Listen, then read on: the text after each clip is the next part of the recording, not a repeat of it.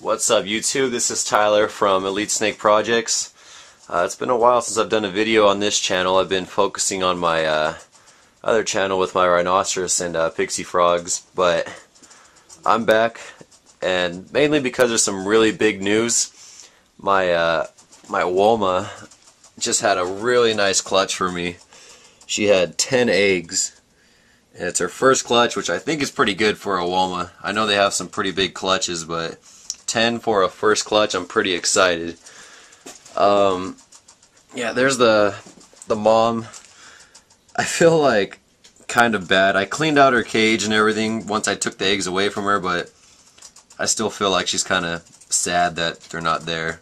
She was all wrapped up around them and really protecting them. She wasn't trying to bite me or anything, but I don't know. I just felt kind of bad taking them away from her. But here's um, I got them in the incubator that I made. Uh, you guys could check out that how to make an incubator on my channel.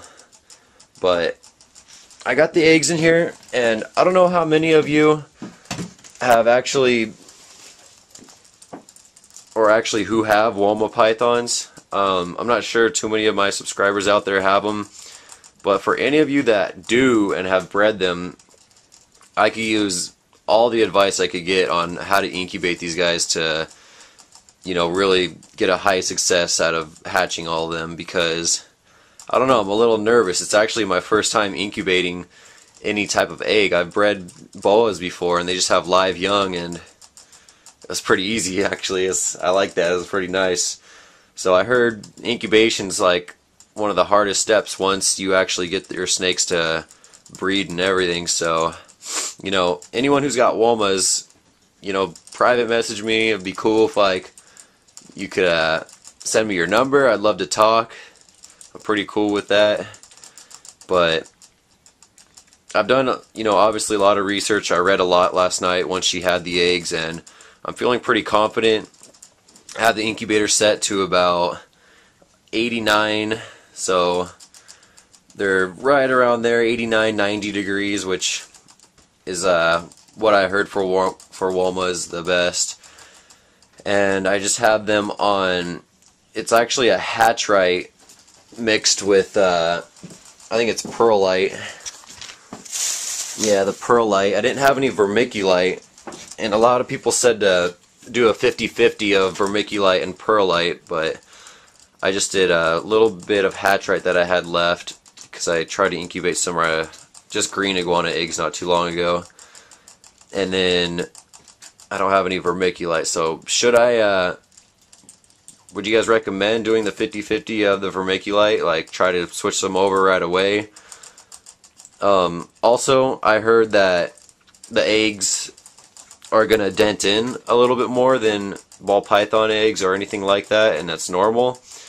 Uh, is that true? Should I expect them to dent? I already see one that has.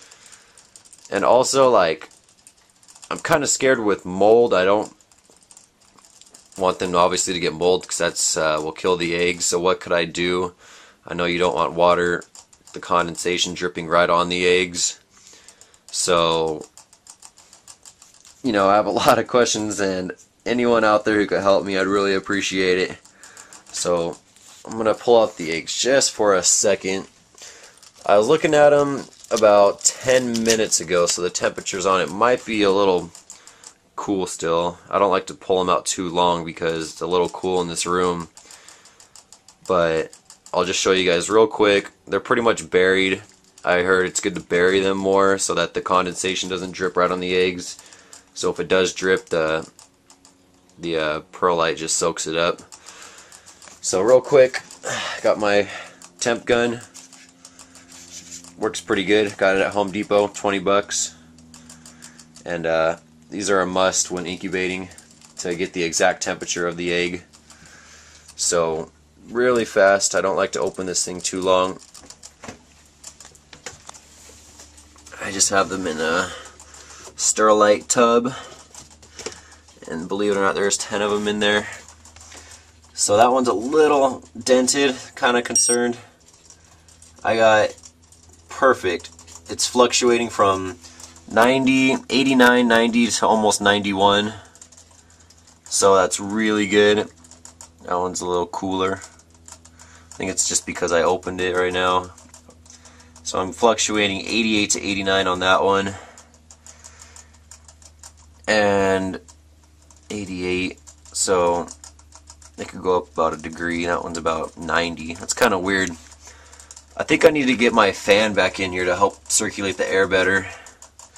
So let me put the top back on. Wipe the condensation off the lid. Also, would you recommend putting the um, the film over this to hold the humidity in better? I know these guys are more of a dry incubate. You don't want to incubate them too wet. They're pretty from a pretty arid and dry area in Australia, and a lot of people recommend incubating them pretty dry. But I'm kind of concerned because a couple a couple of the eggs have already dented in a little bit. So my temperatures seem good. Everything seems pretty set. So also what should I be looking for? I know the eggs are going to get bigger. They'll grow a little bit. Um, what else? Just let me know, you guys. I could really use the help. I really want to hatch these guys out and this will be my first clutch of uh, eggs I've ever produced of any type of snake. Produced boas, like I said, but never incubated eggs like this. So I'm pretty excited. You know, finally all the hard work of feeding and raising them up. My girl was tiny when I got her, and I'm so happy she bred for me. She's a really nice Woma. So I'm really hoping the babies come out nice and light just like her. I've seen a lot of dark Womas out there and I don't like them. They just don't seem as nice as this orange and you gotta see her head super orange. And here's the male. He's looks just as good. He's a little on the skinny side because he bred her all season. But I mean, just perfect yellow head with orange body. He's a little bit darker than she is. I think he might be going into shed. But everyone who has Womas, please let me know. Any advice? Check out my second channel with my rhinoceros iguanas. I'll put the uh, link in the description. If I forget, it's Retic, R-E-T-I-C, Rhino Man. And like I said, any help I could get, I really appreciate. Thank you guys for watching the video.